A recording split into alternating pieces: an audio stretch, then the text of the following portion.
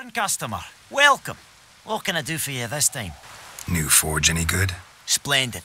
Nilfgaardians brought a two-chamber bellows from Mahakam. Then sent to Vizima for a crack builder. Fellow built a brick hearth and a chimney in no time. Only thing is, the local folk don't buy from me no more.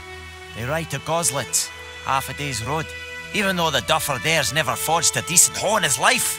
But he's a human. That it? Be careful, Willis. And if the tide turns and Nilfgaard abandons White Orchard, you leave with them. Humans won't forgive you for that boy's death.